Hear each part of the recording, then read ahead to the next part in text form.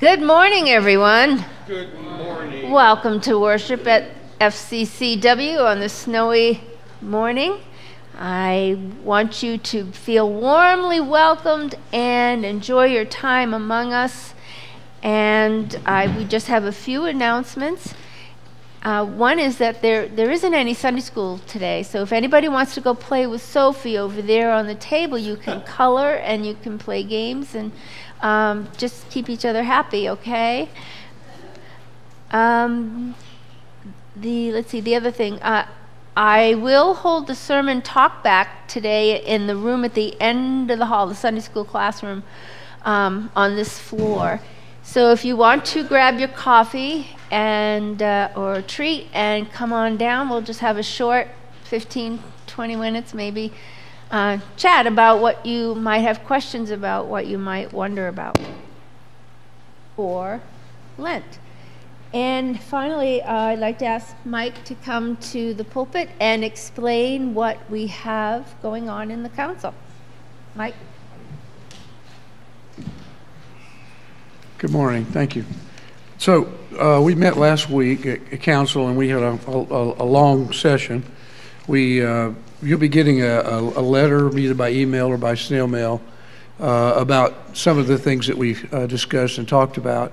Uh, we, uh, uh, it, in, in summary, it's just kind of going over what we what what we all had this big discussion on February the fifth, the annual fiscal meeting about in some of the steps that we want to take to try to uh, find ways to to meet our to to to ensure our financial stability.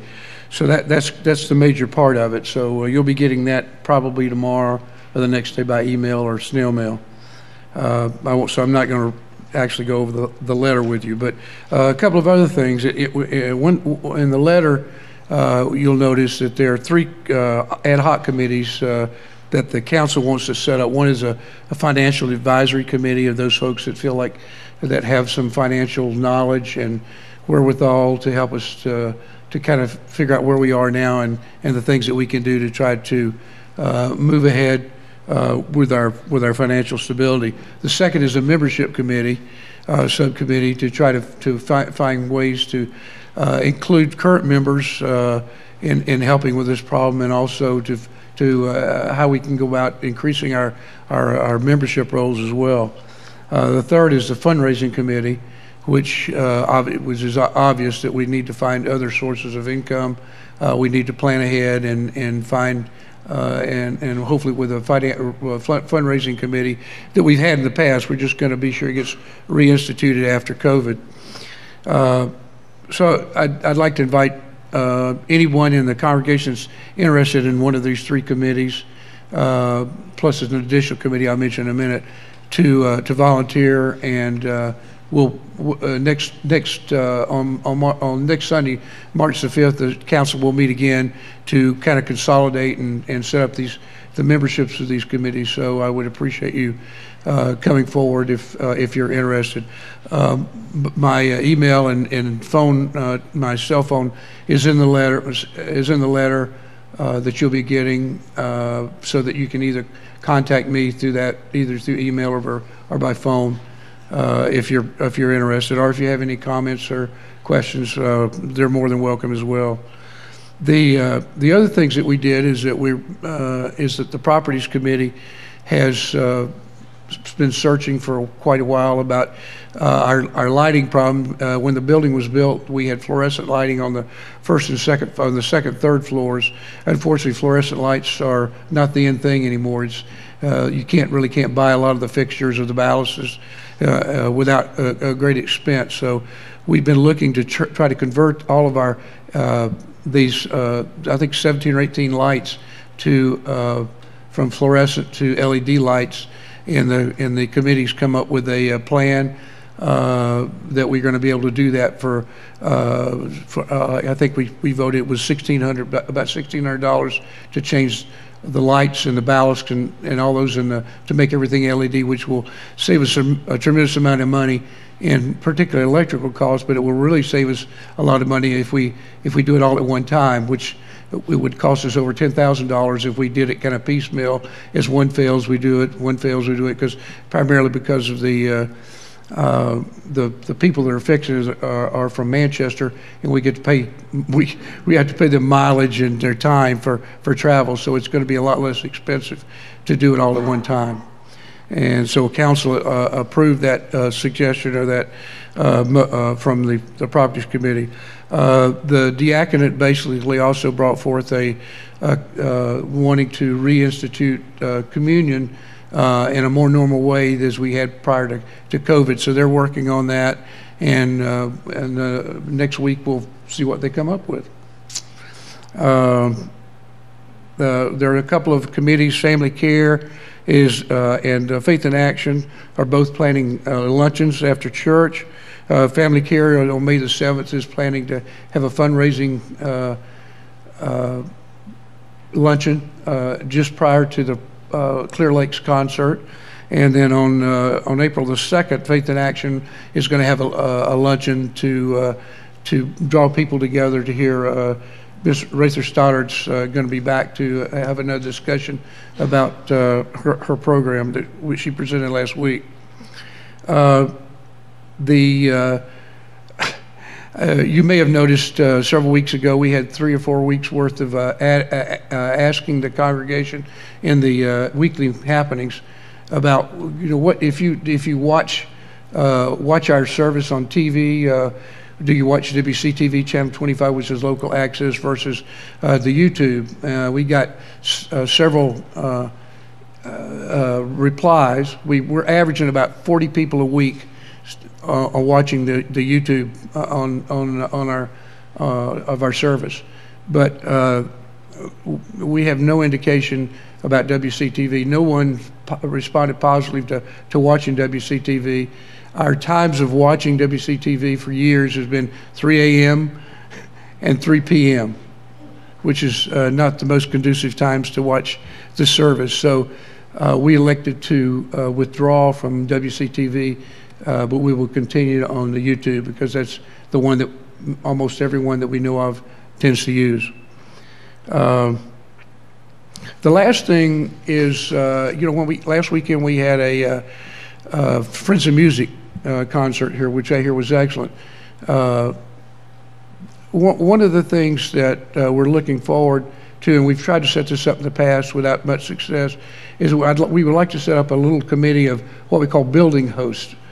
Uh, so that when we have a concert, that some, there would be someone that would come in and open the building uh, and do, you know, just kind of, kind of uh, look over the place while uh, the uh, outside group is using it.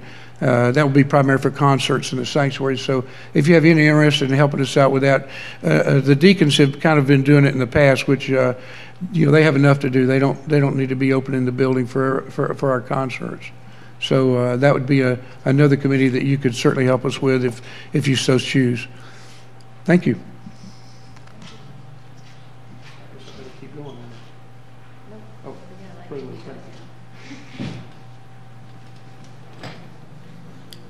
Good morning, everyone. Uh, the choir today, our communion anthem is prayer of St. Francis, and they have asked if we could dedicate uh, today's communion uh, offertory anthem to the memory of Joan Jonkus, who passed away recently. Joan uh, sang in the choir for many, many years. She was a choir director herself, and I'm sure that she is now singing in the heavenly choir. She prepared herself in hospice by doing her own nails and being ready for the Lord's choir.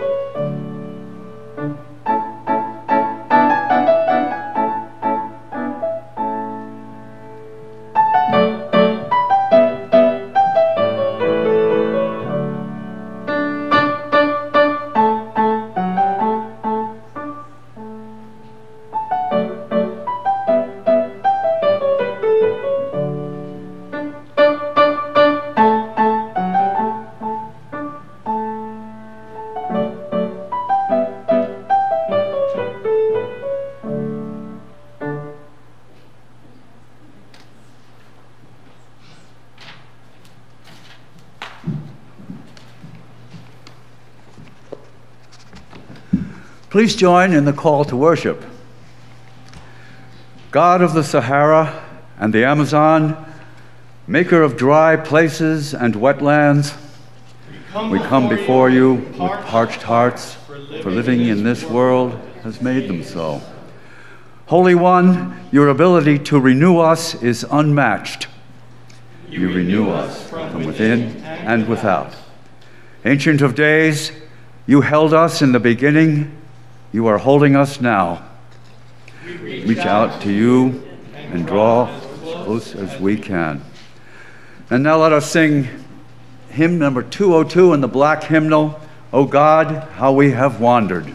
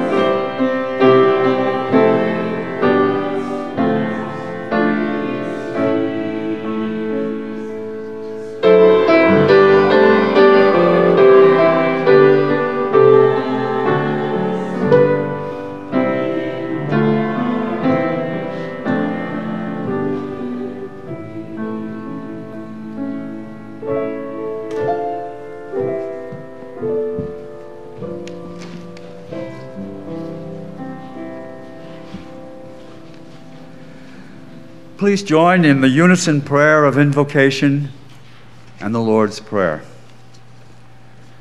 Divine One, we are thankful for the restoration that can be found in you. Your presence is welcomed here. We delight in knowing that you want to be wherever we are. Because you are love, you show up for us. In this place, space, may we delight in your assurance that all you made is good. Hear our praying as Jesus taught us Our Father, who is in heaven, holy is your name. Your kingdom come, your will be done on earth as it is in heaven. Give us this day our daily bread, and forgive us our trespasses as we forgive those who trespass against us. And lead us not into temptation, but deliver us from evil. For yours is the kingdom and the power and the glory forever. Amen.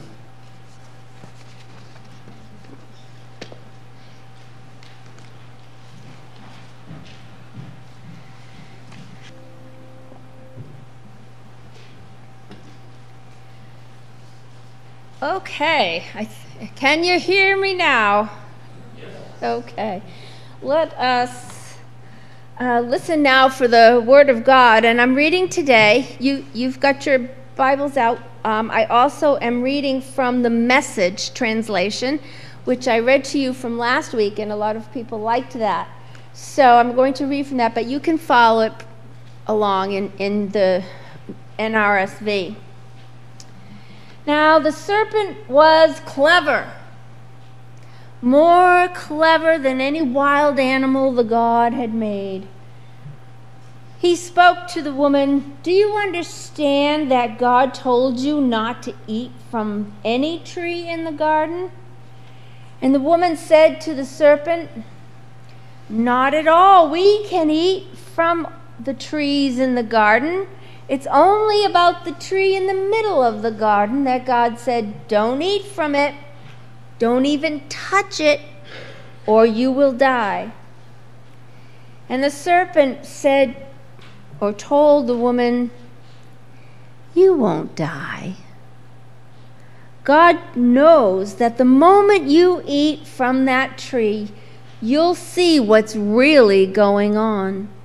You'll be just like God knowing everything and ranging all the way from good to evil. When the woman saw that the tree looked like good eating and realized what she would get out of it, she'd know everything. And she took and ate the fruit and then gave some to her husband. And he ate. Immediately, the two of them did see what's really going on. They saw themselves naked. They sewed fig leaves together as makeshift clothes for themselves. That is the reading from Genesis. And from Matthew 4 1 through 11. Next, Jesus was taken into the wild by the Spirit for the test. The devil was ready to give it. Jesus prepared for the test by fasting for 40 days and 40 nights. That left him, of course, in a state of extreme hunger, which the devil took advantage of in the first test. He said to Jesus, Since you are God's son, Speak the word that will turn these stones into loaves of bread. And Jesus answered by quoting Deuteronomy It takes more than bread to stay alive. It takes a steady stream of words from God's mouth. For the second test, the devil took him to the holy city he sat him on top of the temple and said, Since you are God's son, jump. And the devil goaded him by quoting Psalm 91 He placed you in the care of angels. They will catch you so that you won't as much as stub your toe on a stone. And Jesus countered with another passage from Deuteronomy Don't you dare test the Lord your God. For the third test, the devil took him to the peak of a huge mountain. He gestured expansively, pointing out all the earth's kingdoms, how glorious they all were. Then he said, They're yours, lock, stock, and barrel. Just go down on your knees and worship me, and they're yours. Jesus' refusal was curt. Beat it, Satan. He backed his rebuke with a third quotation from Deuteronomy Worship the Lord your God and only Him. Serve Him with absolute single heartedness. The test was over. The devil left. And in his place, angels. Angels came and took care of Jesus' needs. Here ends the reading of God's holy word. May God bless to our understanding all our meditations and our voices. Amen.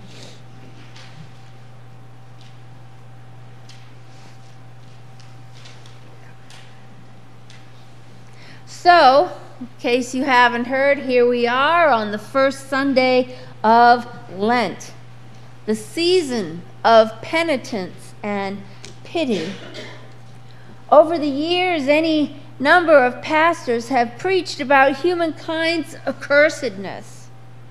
That's the hell, fire, and brimstone message, a kind of teaching I think majorly misses the point and definitely misses God's good news for us.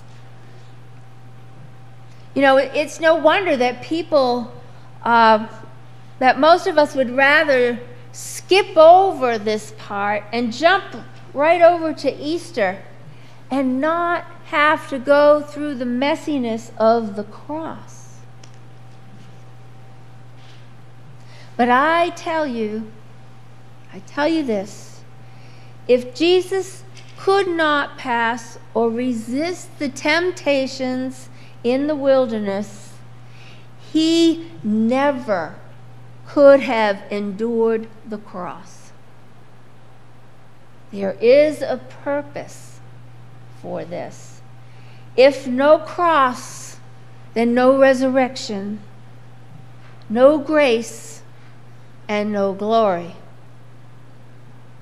I am glad we are here, though, and our plan well, my hope is to go through these 40 days and nights ahead of us, being open to the Spirit, asking the difficult questions, and realizing our own vulnerabilities in the course of our day to day life experiences and choices, the choices that we make.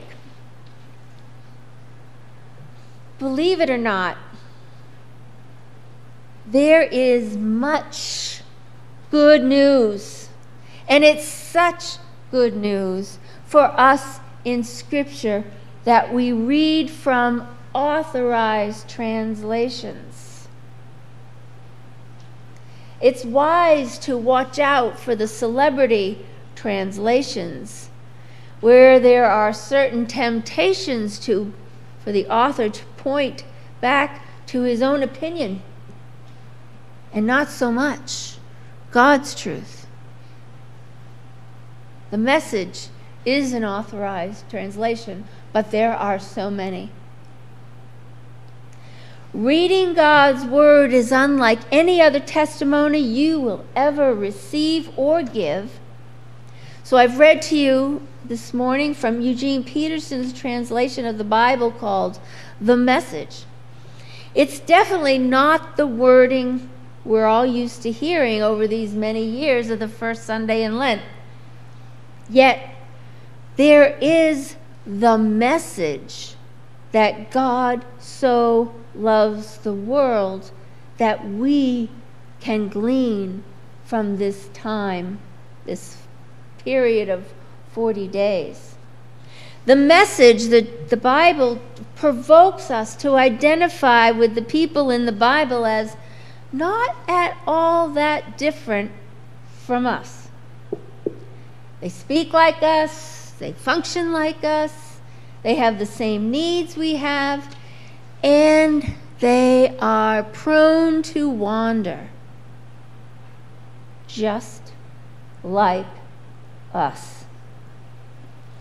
So let's picture ourselves, and not too vividly, um, picture ourselves like Adam and Eve, unabashedly wandering throughout the garden paradise called Eden, smelling the sweet fragrances of fresh blossoms and salivating at the anticipation of biting into fresh and succulent fruit, only to have our eyes suddenly and unexpectedly opened and realize how painfully vulnerable we are to shame, to doubt. We realize we are naked without protection. And we want to cover ourselves. We are exposed. But the good news is, friends, is that these feelings are not the real problem. They're just the symptoms. They are either results of disobedience to God or distrust of God, which is what you see happening in the interchanges between Satan and Jesus on the mountain, on the pinnacle, and by the stones. Now let's imagine that gnawing hunger and that sizzling thirst that Jesus experienced after 40 days and 40 nights in the wilderness. He was not trying to pass the devil's tests. He was literally preparing to save all people from their sin. Jesus was exposed to the elements. He risked everything for us. By the end of Jesus' trial in the wilderness, he was extremely weak and exceedingly vulnerable. Yet, he was exactly where he needed to be. He needed every fiber of faith, every strength of consciousness over and above his physical suffering to face relentless, soul grinding evil.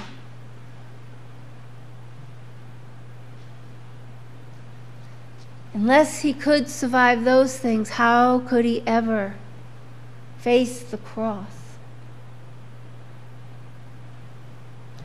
Jesus survives not only the harshness of the wilderness, but also the evil that most commonly leads us into temptation.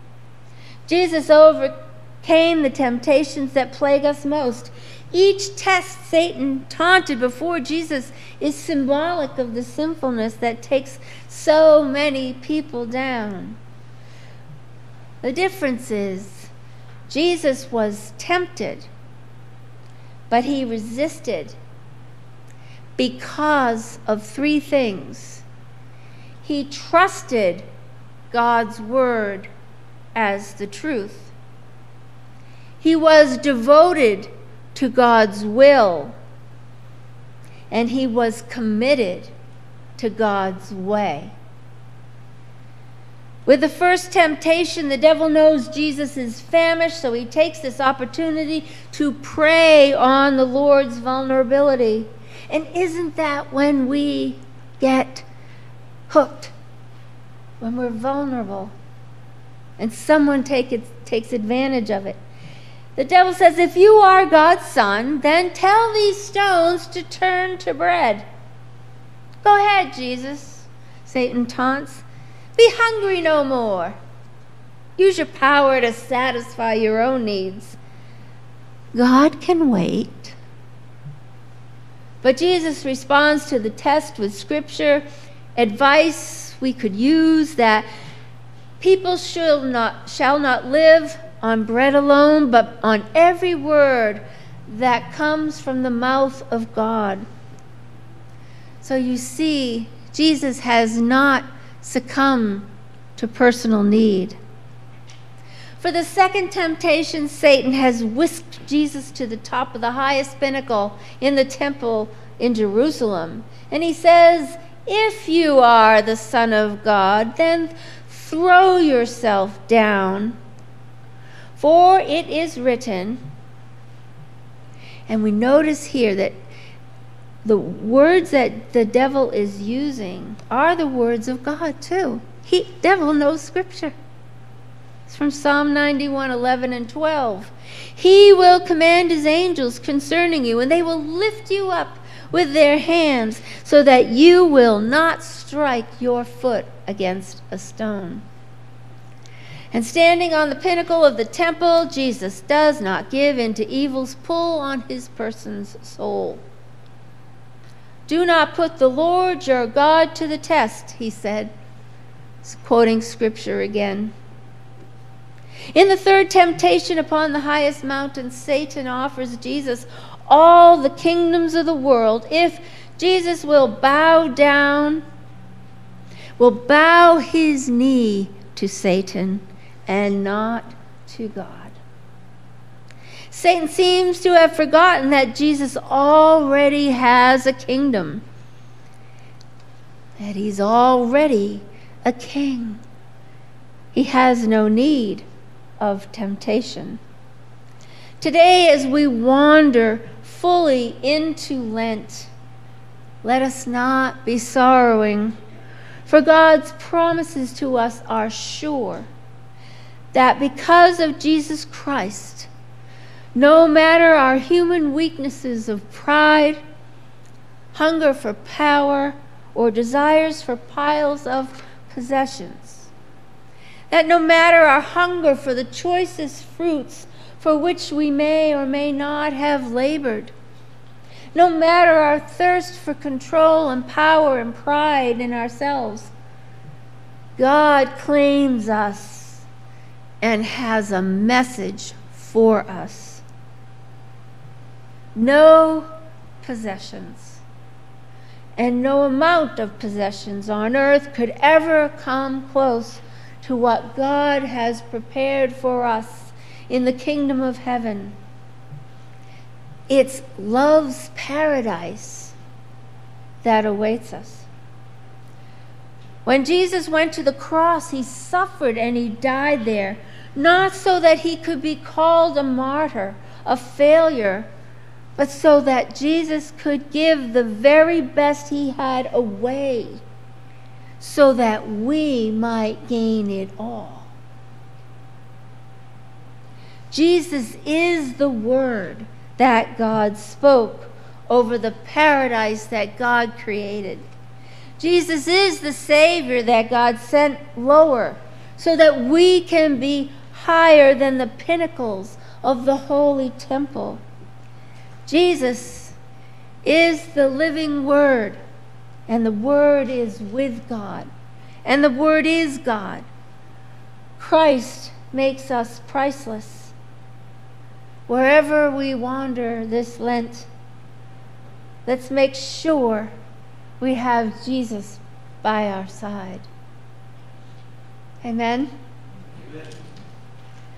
Our next hymn is Take Up Your Cross, number 204.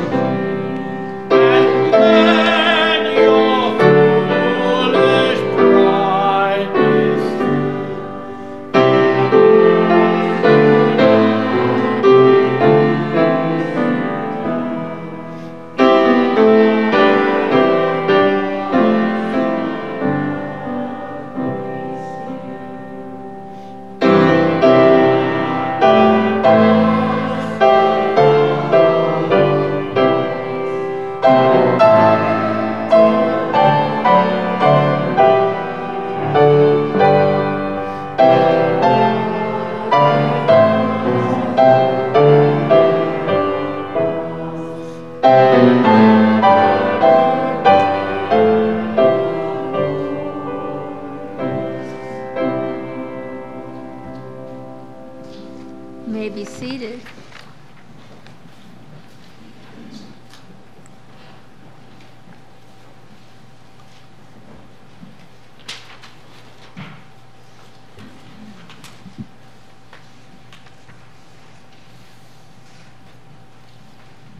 Thank you all for, for sharing, and let us be together in prayer.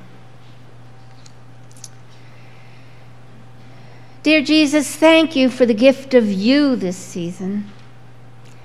How good it is that you know our hearts so fully, so deeply, and that we have a need for rhythms in our lives and seasons in our faith journey.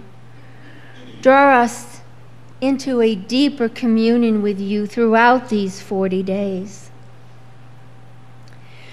Lord, we know that there is more to your story than is visible to the human eye. You created man and woman from the dust at the very beginning of time, and you breathed life into them to transform them into living creatures. We know that you are the resurrection and the life. Your very self went to the cross to show us that no death is final and that ultimate transformation comes through your gift of salvation. May we walk through this season intentionally, removing distractions that take our gaze away from your glory. We are thinking this morning of the CASA children that, that Francie helps, and especially the two who've had issues with mental health and are now being cared for in that way. We want to continue to pray for the earthquake survivors in Turkey and Syria. So many dead in a few moments.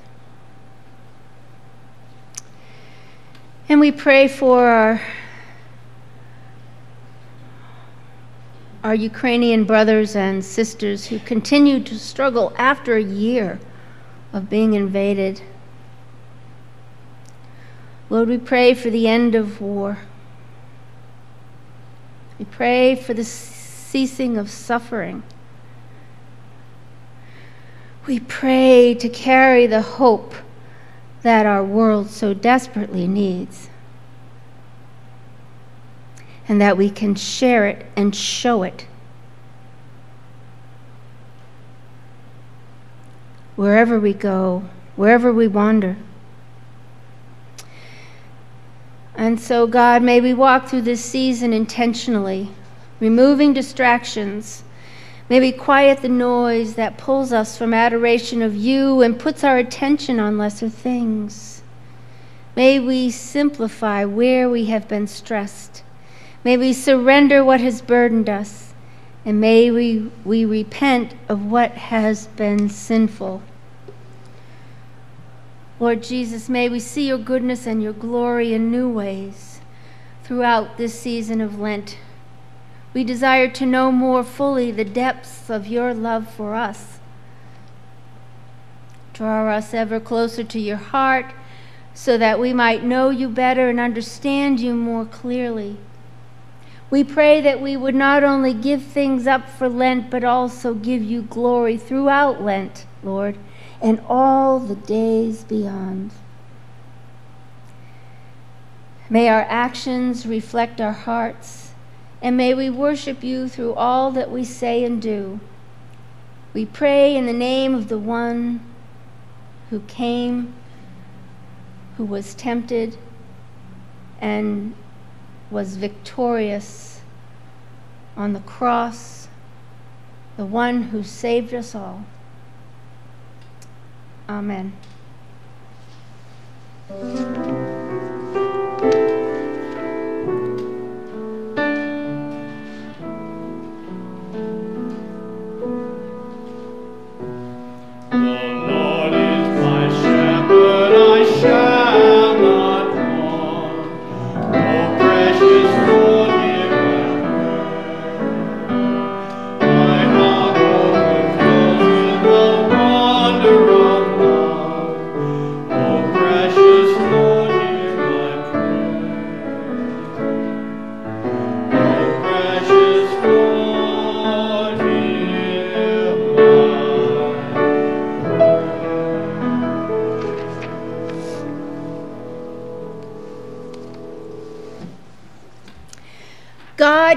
Good things to us, so let us give good things to God. Let us bring gifts that can be like water in dry places. May these resources be used to testify to the goodness of God. Our ushers will wait upon us now.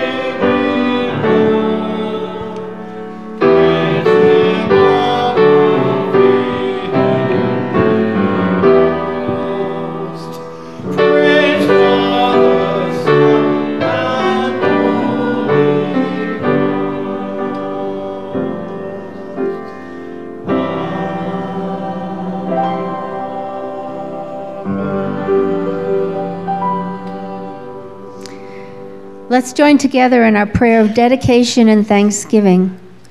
Divine One, receive our gifts from the open hearts from which we give them.